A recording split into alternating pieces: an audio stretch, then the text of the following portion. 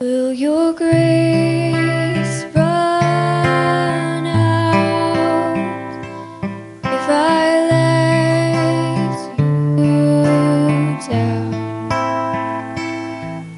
So I know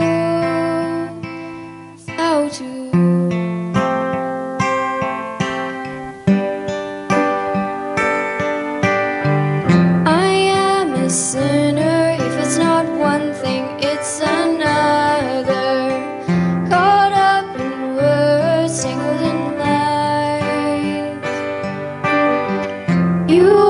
a savior and you take brokenness aside and make